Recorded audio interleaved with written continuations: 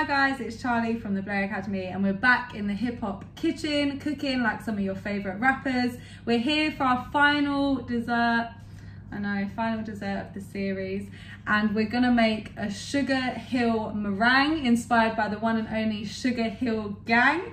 Today's recipe is fairly simple. So we're gonna give it a go, but as ever, let us know how you get on in the comments. Be sure to like, subscribe to our channel so you can see all of the weird and wonderful things that we get up to in terms of health, happiness, and hip hop. So first things first, I've popped my oven on to preheat at 110 degrees. It's pretty cool.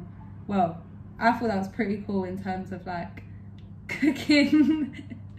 So 110 degrees to preheat. And we're also gonna line our baking tray with some grease proof paper.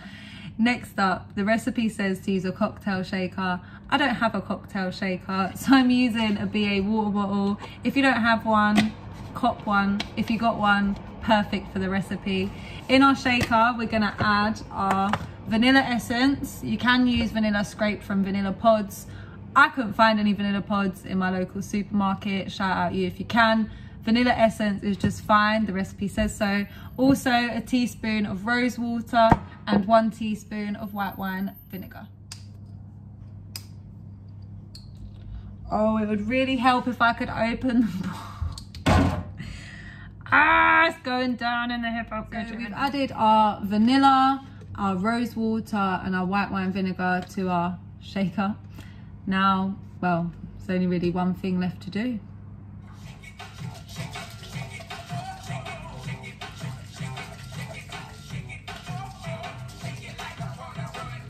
Our mixture, shaken, not stirred. We're gonna take four eggs and separate the yolks from the whites.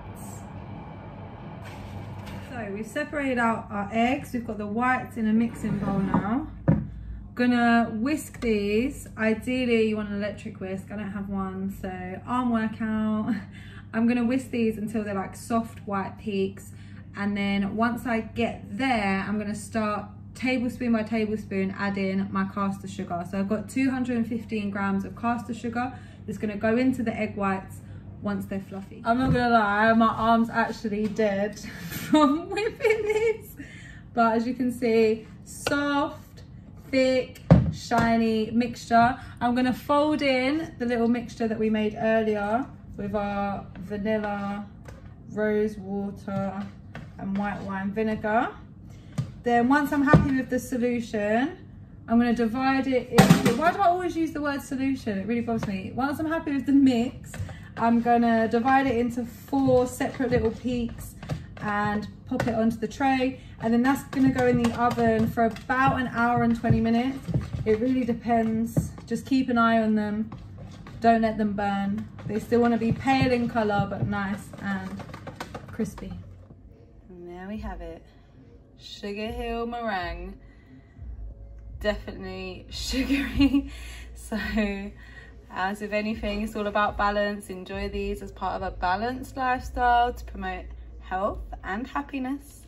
We're looking forward to seeing you back in the hip hop kitchen sometime soon.